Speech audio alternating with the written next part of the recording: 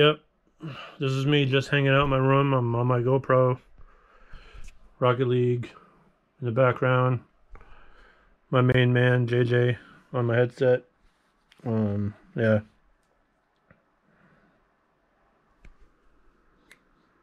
That's my Nan right here saying I got it finally for a router and stuff like that.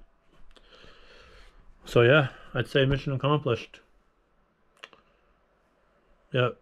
This video is brought to you by obviously it's belligerent because it's so quaint.